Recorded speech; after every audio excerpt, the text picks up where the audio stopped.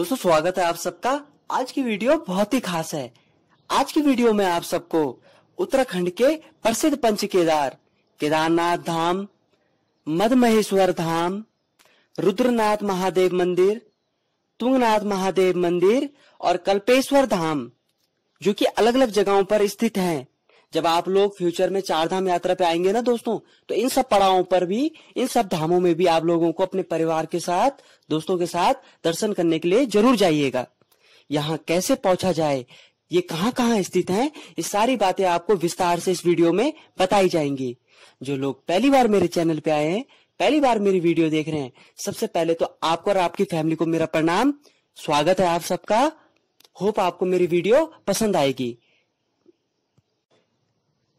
मैं कोशिश करूँगा कि आज की वीडियो के माध्यम से कम से कम समय में आप सबको घर बैठे इन पंच केदारों के दर्शन करा सकूँ। वीडियो पसंद आएगी तो चैनल को लाइक और सब्सक्राइब भी ज़रूर कीजिएगा। तो दोस्त दोस्तों, रुद्रनाथ मंदिर उत्तराखंड के चमोली ज़िले में स्थित है। यह मंदिर पंच केदार में से एक है और भगवान शिव को समर्पित है। यह मंदिर समुद्र तल से 11,800 फीट की ऊंचाई पर बना हुआ है। गोपेश्वर से मंदिर की दूरी 23 किलोमीटर के लगभग है। गोपेश्वर से आपको सागर ग्राम पहुँचना पड़ेगा और वहाँ से 18 किलोमीटर की ट्रैकिंग शुरू होती है। तो गोपेश्वर से मंदिर की दूरी 23 किलोमीटर के लगभग पड़ जाती है। तो दोस्तों अब बात करते हैं रुद्रनाथ मंदिर कैसे पहुँचा जाए। अगर आप हवाई सेवा यात्रा के माध्यम से पहुँचना चाहते हैं तो सबसे पास एयरपोर्ट आपका जॉली ग्रांट एयरपोर्ट है, जो कि ऋषिकेश देहरादून के बीच में डोईवाला के पास स्थित है। आप वहाँ पहुँच सकते हैं। अगर आप ट्रेन के माध्यम से यात्रा करना चाहते हैं तो सबसे पास रेलवे स्टेशन आपका ऋषिकेश रेलवे स्टेशन है। आप वहाँ पहुँच सकते हैं। दोस्तों, पहाड़ों में अभी ट्रेन और हवाई यात्रा संभव नहीं है केवल रोड के माध्यम से ही यात्रा होती है। तो दोस्तों, जब आप रेलवे स्टेशन पहुँच गए, एयरपोर्ट पहुँच गए तो वहाँ से आप बस के माध्यम से गोपेश्वर पहुँच सकते हैं या फिर अपनी प्राइवेट व्हीकल में सफ़र कर सकते हैं। आप लोग टैक्सी भी हायर कर सकते हैं। आपका पहला पड़ाव गोपेश्वर है। जॉली ग्रांट एयरपोर्ट से गोपेश्वर की दूरी दो किलोमीटर के लगभग है अप्रॉक्स और ऋषिकेश रेलवे स्टेशन से 241 किलोमीटर की दूरी पर गोपेश्वर स्थित है। तो अगर आप गोपेश्वर पहुँच जाते हैं तो आपको गोपेश्वर से सागर गाँव पहुँचना पड़ेगा। ये आखिरी पड़ाव है। यहाँ पे आप अपनी गाड़ी पार कर सकते हैं और यहाँ से आपकी फिर पैदल यात्रा शुरू होती है 18 किलोमीटर की। आप लोग थक जाएँगे, इसलिए पहले दिन आप यहीं पे विश्राम कीजिएगा। अगले दिन ट्रैकिंग शुरू कीजिएगा। तो दोस्तों, अगली सुबह जब आप यात्रा शुरू करेंगे तो आपको गाँव के पास एक बड़ा सा गेट दिखेगा। बस यहीं से 18 किलोमीटर का ट्रैक शुरू होता है। आप अपने बैग में ज़रूरी सामान रख लीजिए इक्विपमेंट्स रख लीजिए। ट्रैकिंग शुरू की जाएगी और दो घंटे की चढ़ाई के बाद आप पुन बग्याल पहुँचेंगे। दोस्तों ट्रैकिंग के दौरान आपको प्रकृति का खूबसूरत नज़ारा देखने को मिलेगा। बुग्याल देखने को मिलेंगे। आपकी थकान अपना आप ही दूर हो जाएगी। पुन बुग्याल में आप विश्राम भी कर सकते हैं रिलैक्स हो सकते हैं और उसके बाद आप शुरू करेंगे चढ़ाई लीती बुग्याल के लिए। आपको घने जंगलों के बीच से होते हुए जाना पड़ेगा और प्रकृति का सौंदर्य देख के आपकी थकान खुद ही गायब हो जाएगी। तीन घंटे की चढ़ाई के बाद आप पहुँचेंगे पनार बुग्याल पनार बुग्याल में आप फिर से रिलैक्स हो सकते हैं, थोड़ी देर बैठ के। यहाँ से आपको चौखंबा पर्वत की श्रृंखलाएँ देखने को मिलेंगी। जो कि 7,138 मीटर की ऊंचाई पर स्थित है समुद्र तल से। दो घंटे की चढ़ाई के बाद आप पितृधार पहुँचेंगे। पितृधार में आपको घंटियाँ और झंडे फ्लैग देखने को मिलेंगे। यहाँ से एक किलोमीटर उतराई पर आपको नौला पास पहुँच जाएँगे आप। नौला पास से चार किलोमीटर की दूरी पर आपका रुद्रनाथ महादेव मंदिर, प्राचीन पौराणिक मंदिर आपको देखने को मिलेगा। आप दर्शन कर सकेंगे मंदिर के। रुद्रनाथ मंदिर में भगवान शिव के चेहरे की पूजा की जाती है। रुद्रनाथ मंदिर को रुद्रमुख भी कहा जाता है। शांतिपूर्ण माहौल और आदर्श स्वभाव से भक्तों के लिए यह जगह अधिक धार्मिक और पवित्र है। तो आप सब भी दर्शन करने ज़रूर आइएगा। अपने दोस्तों के साथ, अपने परिवार के साथ। चमोली ज़िले की कथा के अनुसार, महाभारत के युद्ध में विजय होने पर पांडव भ्रात हत्या के पाप से मुक्ति पाना चाहते थे, लेकिन भगवान शिव उनसे रुष्ट थे। पांडव उनके दर्शन के लिए खोजते खोजते हिमालय तक आ पहुँचे। भगवान शंकर वहाँ से अंतर ध्यान होकर केदार जा बसे दूसरी ओर पांडव भी लगन के पक्के थे वे भी उनका पीछा करते करते केदार ही आ पहुँचे। भगवान शंकर ने तब तक बैल का रूप धारण कर लिया और वे अन्य पशुओं में जा मिले। पांडवों को संदेह हो गया था। अतः भीम ने अपना विशाल रूप धारण कर दो पहाड़ों पर पैर फैला दिए। अन्य सब गाय बैल तो निकल गए, पर शंकर जी रूपी बैल पैर के नीचे से जाने को तैयार नहीं हुए। भीम बलपूर्वक इस बैल पर झपटे, लेकिन बैल भूमि में अंतर ध्यान होने लगा। तब भीम ने बैल की पीठ का भाग पकड़ लिया। भगवान शंकर, पांडवों की भक्ति, दृढ़ संकल्प देखकर प्रसन्न हो गए। उन्होंने तत्काल दर्शन देकर पांडवों को पाप मुक्त कर दिया। उसी समय से भगवान शंकर बैल की पीठ की आकृति पिंड के रूप में श्री केदारनाथ में पूजे जाते हैं। जब भगवान शंकर बैल के रूप में अंतर ध्यान हुए तो उनके ऊपर का भाग काठमांडू में प्रकट हुआ और नेपाल में पशुपति नाथ जी का प्राचीन पौराणिक प्रसिद्ध मंदिर है। भगवान की भुजाएँ तुंगनाथ में मुख रुद्रनाथ में नाभि का भाग मधमहेश्वर में और जटा कल्पे, कल्पेश्वर में प्रकट हुई। इन सभी धामों में मंदिर बने हुए हैं और श्रद्धालु यहाँ दर्शन के लिए जाते हैं। इनको पंच केदार कहा जाता है। कथा के वीडियो को ज़्यादा से ज़्यादा शेयर कीजिएगा अपने फैमिली, फ्रेंड्स, दोस्तों में। होप आपको ये वीडियो अच्छी लगी हो। पूरी वीडियो देखने के लिए आप सबका बहुत बहुत धन्यवाद। Thank you friends thank you everyone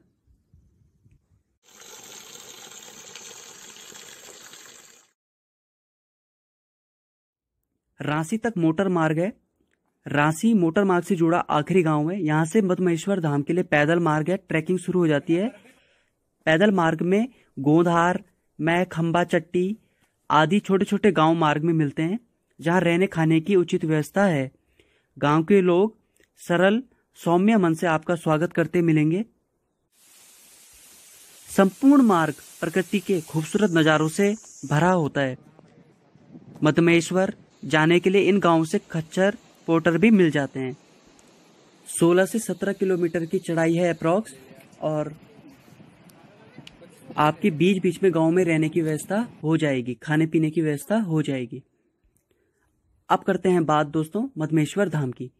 Madhmeshwar Dham भगवान शिव की नाभि की पूजा की जाती है यहाँ। ये पंच केदार में इसको तृतीय स्थान माना गया है। मधमेश्वर उत्तराखंड के गढ़वाल क्षेत्र के रुद्रप्रयाग ज़िले में समुद्र तल से 3,290 मीटर की ऊंचाई पर स्थित है। चारों ओर हिमालयों पहाड़ों से घिरे इस रमणीय स्थान की खूबसूरती देखते ही बनती है। मधमेश्वर मंदिर से तीन से चार किलोमीटर अगर हम चढ़ाई चढ़े और ऊपर तो एक बुग्याल आता है। वहाँ एक छोटा सा मंदिर है जिसे बूढ़ा मधमेश्वर कहा जाता है। यहाँ से हिमालय के चौखंबा पर्वत का भव्य दर्शन होता है।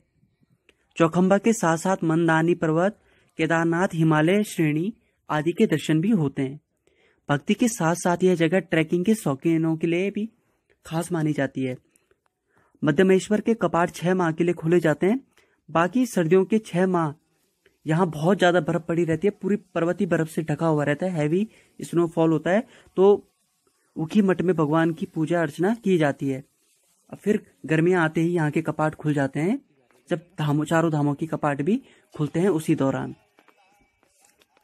दोस्तों तो दोस्तों, बात करते हैं रोड के माध्यम से। ऋषिकेश, हरिद्वार, देहरादून से डायरेक्ट बस ले सकते हैं आप उखीमठ के लिए। अगर वो नहीं मिली तो आप हरिद्वार या ऋषिकेश बस अड्डे से प्राइवेट और गवर्नमेंट बस चलती रहती है। आप उनके माध्यम से देवप्रयाग, श्रीनगर, गढ़वाल, रुद्रप्रयाग होते हुए ऊखीमठ पहुँच जाएँगे। दूसरा जो रोड का माध्यम है, वो है कोटद्वार से पौड़ी होते हुए पौड़ी से श्रीनगर गढ़वाल होते हुए, रुद्रप्रयाग होते हुए ऊखीमठ पहुँचे। तीसरा जो माध्यम है, वह है गोपेश्वर से चोपता वाला जो रूट है, जो तुंगनाथ चोपता वाला रूट है, वहाँ से होते हुए ऊखीमठ पहुँच जाइए। अब बात करते हैं हम बाय एयर से। जॉली ग्रांट एयरपोर्ट, जो देहरादून में लोकेटेड है, वहाँ से मदमेश्वर धाम की दूरी 235 किलोमीटर की है और ये सबसे पास एयरपोर्ट है। एयरपोर्ट से और ऊखीमठ आने के लिए फिर आपको रोड का माध्यम चुनना पड़ेगा और गाड़ी, टैक्सी या प्राइवेट व्हीकल से पहुँचना पड़ेगा। अब ट्रेन की बात करते हैं तो ऋषि, हरिद्वार हरिद्वार में आप पहुँच सकते हैं। हरिद्वार से मधमेश्वर धाम की दूरी 202 किलोमीटर के अप्रॉक्स पड़ जाती है और वहाँ से फिर आप कैब वगैरह, टैक्सी वगैरह करके पहुँच सकते हैं। यहाँ पहले 12 किलोमीटर का ट्रैक था। और रोड केवल हेलांग तक जाती थी। पर अब देवग्राम विलेज तक रोड पहुँच गई है, जहाँ से टेंपल 300 मीटर की दूरी पे है। ऋषिकेश से दो सौ तिरपन किलोमीटर दूर है। ऋषिकेश बद्रीनाथ रोड पे पड़ता है। यह मंदिर पांडवों के द्वारा बनाया गया था। पंच केदार में से एक है। यहाँ भगवान शिव की जटा प्रकट हुई थी। शिव, भगवान की भुजाएँ तुंगनाथ में, मुख रुद्रनाथ में नाभि मद महेश्वर में, भगवान शंकर बैल की पीठ की आकृति पिंड के रूप में श्री केदारनाथ में पूजे जाते हैं और जटा कल्पेश्वर में प्रकट हुए। इसलिए इन पाँचों स्थानों में श्री कल्पेश्वर को पंच केदार कहा जाता है। कल्पेश्वर मंदिर की यात्रा के लिए कार व बाइक द्वारा जाया जा सकता है। ऋषिकेश से टैक्सी, बस, सुमो, सड़क द्वारा वहाँ पहुँचा जा सकता है। कुछ स्थान पर सड़क कच्ची बनी हुई है, जो मानसून के दौरान क्षतिग्रस्त हो जाती है। लारी गाँव से कल्पेश्वर मंदिर तक पैदल द्वारा जाया जा सकता है, जो लगभग दो किलोमीटर दूर है। पर अब मंदिर तक पूरी रोड पहुँच गई है तो मंदिर के नीचे तक रोड जाती है, वहाँ से मंदिर 300 मीटर की दूरी पे आइए अब अपने सब फैमिली के साथ। थैंक यू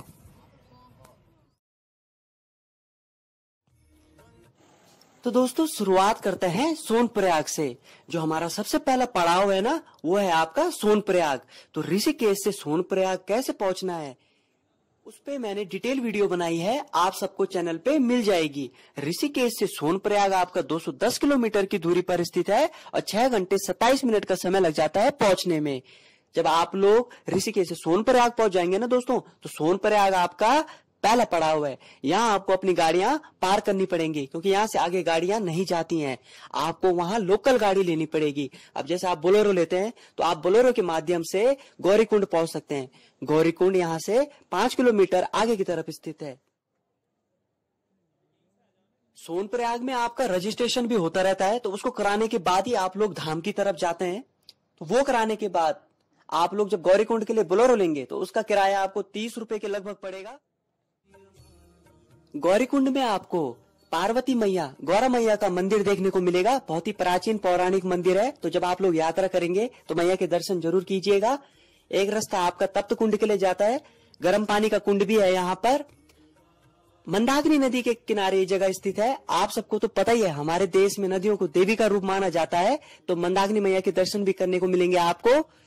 उसी पे उसी रास्ते पे आगे जब बढ़ेंगे आप तो आपको टिकट काउंटर देखने को मिलेगा। तो यहाँ पर आपका जो घोड़ा सवारी होता है, उसका टिकट बुक होता है। एक साइड का तेईस सौ रुपए के अप्रोक्सीमेट पड़ जाता है।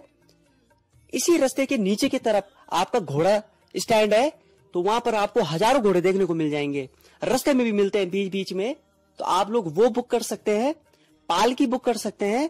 अगर आप लोग पूछेंगे सबसे सस्ता यात्रा तो आपको करनी पड़ेगी पैदल यात्रा। जब आप लोग यात्रा को कंटिन्यू करेंगे और आगे की तरफ़ बढ़ेंगे तो आपको बीच बीच में खूबसूरत झरने देखने को मिलेंगे और पूरा प्राकृतिक सौंदर्य, खूबसूरत वादियों के नजारे देखने को मिलेंगे। आपकी सारी थकान दूर हो जाएगी। अगर आप लोग वीडियोग्राफी, फोटोग्राफी के शौकीन हैं तो आप लोग यहाँ पर रुककर कुछ समय नेचर के साथ भी समय बिता सकते हैं। अपने खूबसूरत मोमेंट्स को कैप्चर कर सकते हैं। बहुत सारे झरने आपको देखने को मिलेंगे जो साल भर बहते रहते हैं। इन्हीं झरनों के किनारे किनारे रास्ता आगे की तरफ़ बढ़ता है। गौरी कुंड से चार किलोमीटर आगे की तरफ़ आपका जंगल चट्टी देखने को मिलेगा आपको। आप जब धाम की तरफ़ ट्रेवल करेंगे तो आपको खुशी का अनुभव होगा। आपकी सारी थकान दूर हो जाएगी। यात्रा ना होने पर जितने भी पड़ाव बने हुए हैं बीच बीच में यहाँ पर दुकानें तो हैं पर आप भी यात्रा नहीं हो रही इस वजह से सारी दुकानें आपको बंद ही देखने को मिलेंगी। फिर गौरी कुंड से जब आप लोग आगे की तरफ़ बढ़ेंगे तो आ, जंगल चट्टी को क्रॉस करने के बाद भी जब आप लोग आगे की तरफ़ बढ़ेंगे तो भीमबली आता है और फिर भीमबली से एक किलोमीटर आगे की तरफ़ आपको देखने को मिलेगा रामबाड़ा। रामबाड़ा के बारे में तो आप सबको पहले से ही पता है। यहाँ पर आपको रुद्र वाटरफॉल देखने को मिलेगा। तो रामबाड़ा दोस्तों, आपका गौरीकुंड से छह किलोमीटर ऊपर की तरफ़ स्थित है। यहाँ पर एक पुल आता है, उसको क्रॉस करने के बाद आप लोग उस तरफ़ जाएँगे और फिर आपको पैदल यात्रा को कंटिन्यू करेंगे। रामबाड़ा से चार किलोमीटर आगे की तरफ़ आता है आपका छोटी लिंगचोली, बड़ी लिंगचोली आता है, फिर उसके बाद यहाँ से आपको पूरी घाटी का सिनेरिक नज़ारा देखने को मिलेगा, खूबसूरत हिमालय। आप सबको तो पता ही है कि चारों धाम हमारे हाइट पर स्थित हैं तो आपको यहाँ पर बर्फीले पहाड़ और ग्लेशियर देखने को मिलते हैं। एक सवाल आप लोगों ने पूछा है तो मैं आप लोगों को क्लियरली बता दूँ कि अभी यात्रा नहीं हो रही है। जब गाइडलाइंस आ जाएँगी तो आपको मैं उस पर वीडियो बना के आप लोगों को इन्फॉर्म कर दूँगा। जैसे ही आप लोग केदारनाथ धाम पहुँचेंगे तो स्टार्टिंग स्टार्टिंग में आपको टेंट देखने को मिलेंगे राइट हैंड साइड पर। तो ये स्टे करने के लिए बनाए गए हैं। तीन सौ रुपए प्रति व्यक्ति चार्ज पड़ता है यहाँ पर पर डे के हिसाब से। और उसी के नीचे के साइड आपको केदारनाथ हेलीपैड देखने को मिलेगा। तो जो लो, जो श्रद्धालु लोग पैदल यात्रा नहीं कर पाते हैं वो हवाई यात्रा के माध्यम से भी इसका लाभ उठा सकते हैं। उसी के आगे पे आपको मंदाकिनी और सरस्वती नदी का घाट देखने को मिलेगा। मंदिर भी है यहाँ पर।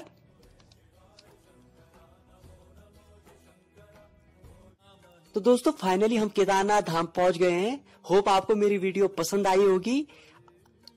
भगवान भोलेनाथ, महादेव, आप पे अपनी कृपा बनाए रखे। बाबा केदार आपकी सारी मनोकामनाएँ पूर्ण करे। आपको चारों तरफ़ बर्फीले पहाड़ देखने को मिलेंगे, हिमालय देखने को मिलेगा, और यही मंदिर के ऊपर की तरफ़ आपका भैरव बाबा का मंदिर है तो वहाँ की झलक भी मैं अभी आपको वीडियो में दिखाऊँगा। मंदिर के पीछे की तरफ़ अभी भी कार्य चल ही रहा है फ्यूचर को देखते हुए। तो दोस्तों, अब बात करते हैं तुंगनाथ महादेव मंदिर की। तुंगनाथ महादेव मंदिर पहुँचने के लिए आपको पहुँचना पड़ेगा रुद्रप्रयाग। रुद्रप्रयाग से आप पहुँचेंगे कुंड कुंड डाइवर्जन पॉइंट है दोस्तों। कुंड से एक रूट चले जाता है आपका केदारनाथ धाम के लिए और एक चले जाता है चोपता तुंगनाथ महादेव मंदिर वाले रूट के लिए। और वो आगे जाके मिलता है आपका बद्रीनाथ वाले रूट पे। तो उसी पे जब आप लोग कंटिन्यू करोगे ना कुंड से तो वहाँ पर आएगा आपका थोड़ा आगे पे चढ़ाई के बाद आपको उखीमठ देखने को मिलेगा। तो उखीमठ वाले रूट पे आप लोग कंटिन्यू करोगे तो आगे आता है आपका चोपता। चोपता बहुत ही खूबसूरत जगह है दोस्तों। यहीं से ट्रैक शुरू होता है तुंगनाथ महादेव मंदिर का। अगर आप लोग लकी हुए तो आप लोगों को यहाँ पे स्नोफॉल भी देखने को मिल सकता है। पंच केदार में से एक है और इसका एक अलग ही धार्मिक महत्व है। तो आज की वीडियो में मैंने आप सबको केदारनाथ, मदमहेश्वर, रुद्रनाथ, कल्पेश्वर, तुंगनाथ महादेव मंदिर की झलक दिखाई। केदारनाथ धाम के कपाट खुल चुके हैं। उसी के साथ ही साथ आपका पंच केदारों के कपाट भी साथ ही साथ खुल जाते हैं। आप लोगों को जब फ्यूचर में आप लोग यहाँ आएँगे ना तो इन धामों में भी, इन पंच केदारों में भी दर्शन करने ज़रूर आइएगा। तो दोस्तों मिलते हैं आप सबको नेक्स्ट वीडियो में। बहुत सारा प्यार देने के लिए सपोर्ट देने के लिए, मेरा साथ देने के लिए वीडियो देखने के लिए लाइक करने के लिए कमेंट करने के लिए शेयर करने के लिए आप सबका बहुत बहुत धन्यवाद। जय देवभूमि उत्तराखंड, जय हिंद, जय भारत।